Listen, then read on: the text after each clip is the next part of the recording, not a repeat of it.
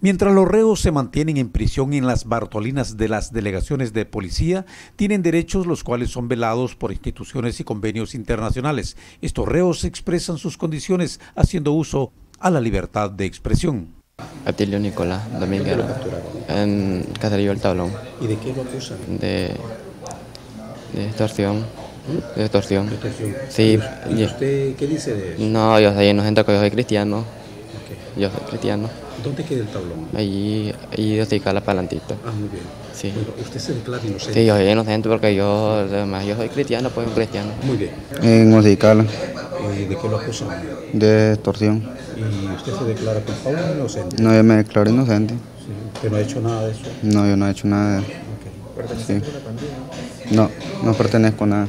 Okay. De extorsión dicen, pero cosas que yo no he hecho. Allí solo llegaron a sacarme a la casa y no, nada más me dijeron que por eso y yo no he hecho nada. ¿Usted se declara inocente? Inocente. Okay.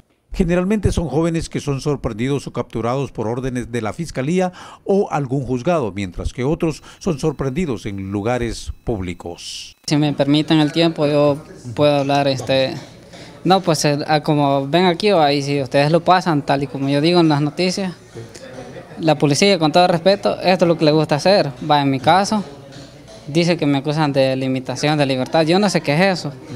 Yo me declaro inocente, va. Me sacaron de mi casa a medianoche y la policía ya con esto ya ponen este le dimos un golpe atrás de estructura criminal y que no sé qué y tal vez lo, los criminales allá afuera va este siguiendo haciendo de, la, de ellos y, y o sea ni andaba mi nombre porque desde luego me preguntaron mi nombre y mi documento, entonces bien raro pues, sin una orden, digo yo, no sé. Es mentira. Eh, ¿De verdad a qué se dedica? Eh, tengo un negocio con mi madre, un comedor. ¿Ah, sí? Sí. Ahí trabajan. Sí. sí. Y pues nunca había tenido la experiencia de venir a un, una delegación. Sí. Gracias a Dios nunca me han detenido. y ¿Cómo, ¿Cuál es la primera experiencia? ¿Cómo siente esta experiencia? No, pues cuando llegaron los agentes fueron amables conmigo, eh, me explicaron y pues yo accedí porque me siento que soy libre del cargo que me Muchos aceptan su error, mientras que otros lo niegan, pero entre ellos hay jóvenes que con sentimiento profundo envían mensajes a través de los medios de comunicación a sus seres queridos.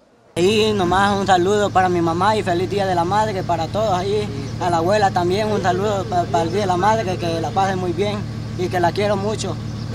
Ahí feliz día de la madre también, que la quiero mucho y que la cuide, se cuide también. Madre. Feliz día de la madre ahí para todas las madres ahí que cuiden. Esto es lo que se vive diariamente en las cárceles de las delegaciones policiales del país y Morazán no es la excepción. Jorge Álvarez, Sol TV Noticias.